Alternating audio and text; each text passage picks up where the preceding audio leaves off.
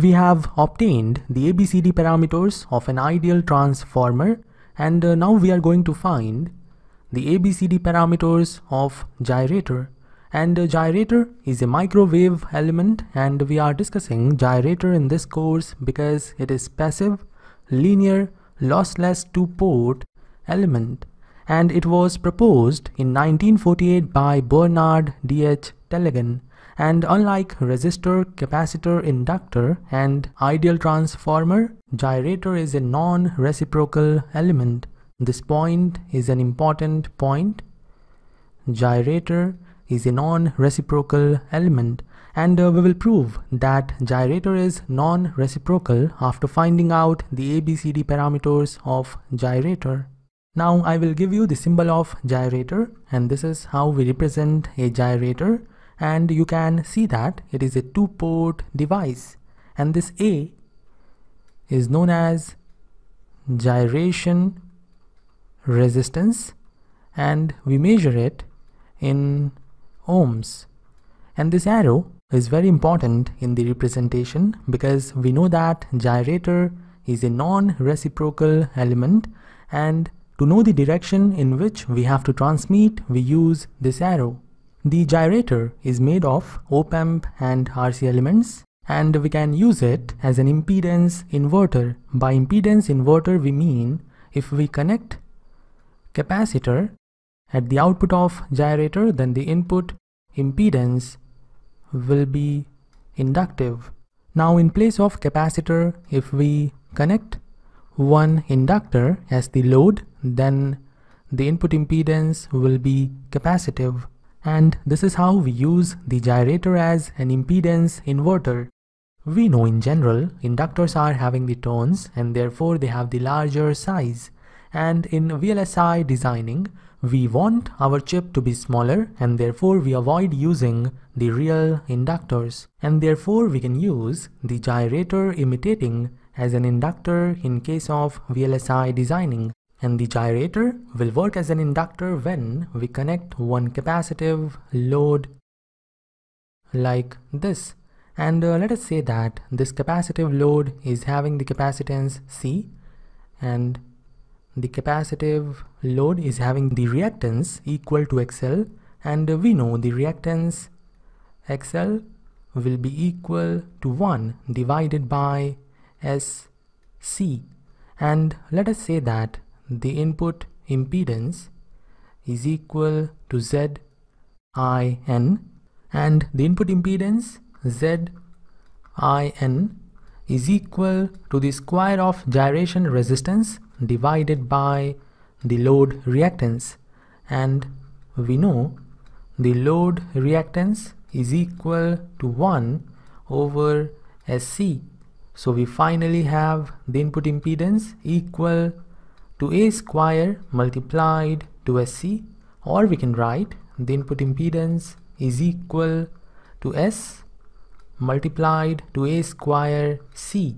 And uh, we know that Zin is going to be inductive. Therefore comparing with SL we can see that the inductance is equal to A square multiplied to C. Now let us move on to the calculation of ABCD parameters of gyrator and for that I will consider this as our equation number 1 and uh, we know we can write the input impedance ZIN equal to the input voltage divided by the input current. And this is our equation number 2 and when we apply KVL in this loop we will have plus V2 plus I2 multiplied to XL equal to 0 and from here we will have XL equal to V2 divided by negative of I2 and this one here is our equation number 3. Now I will put Zn equal to V1 over I1 from equation number 2 here in equation number 1 and I will put XL equal to V2 over negative I2 from equation number 3 here in equation number 1 and therefore we will have V1 over I1 equal to square of A divided by V2 divided by negative of I2. Now I want to have the standard equations we have in case of ABCD parameters and therefore I will rearrange the right hand side of the equation and we will have V1 over current I1 equal to negative of A I2 and in the denominator we will have V2 over A.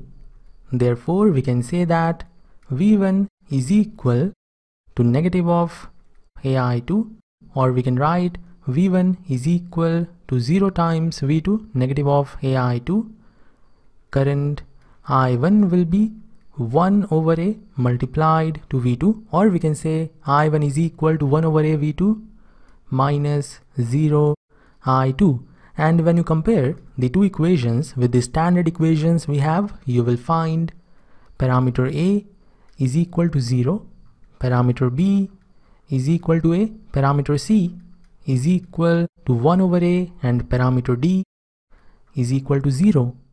So these are the ABCD parameters of gyrator, remember them. And now I will tell you what will happen when we reverse the direction. When we reverse the direction, V1 will be equal to plus a I2 and I1 will be equal to negative of V2 over A. And after finding out the ABCD parameters, it is now very easy to show that gyrator is non-reciprocal. We know the condition for reciprocity in terms of ABCD parameters.